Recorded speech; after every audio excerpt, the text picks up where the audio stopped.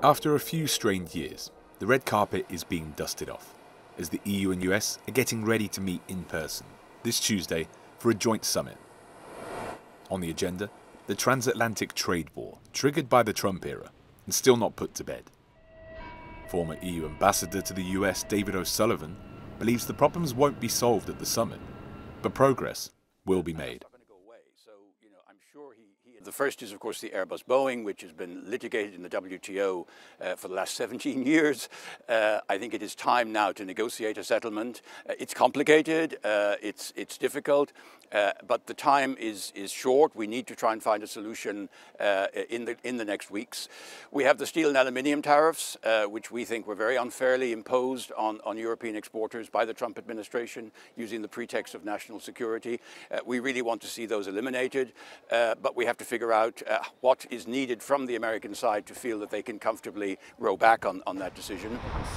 As well as trade, China will be the big talking point in the room, with the US hoping to bring the Europeans in line on their stance and encourage them to keep the EU China investment plan on ice. During the weekend's G7 meeting, some progress was made to better counteract China's economic rise, where the European Commission President made it clear to Euronews what the EU's position is. We know there are fields where we do cooperate, for example, the fight against climate change.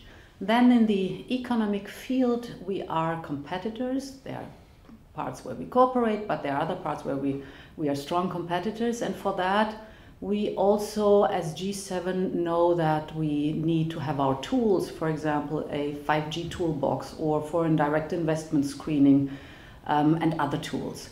And then there's uh, the third part, and that is an important one. It's about fundamental rights, human values, and democracy. And here it's very clear. Here we are systemic rivals without any question. Leaders will discuss common ways to address the rise of China as a tech superpower. The Trade and Tech Council would set up EU US working groups in fields like cybersecurity and technology platforms.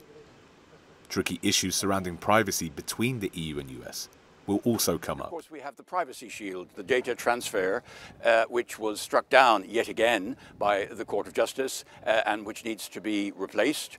Uh, those talks are also ongoing, vital for industry to be able to transfer data across the Atlantic. The EU-US summit will also touch upon the pandemic and on supporting a joint probe into the origins of COVID-19 in the Chinese city of Wuhan. Chris Pitchers Euronews, Brussels.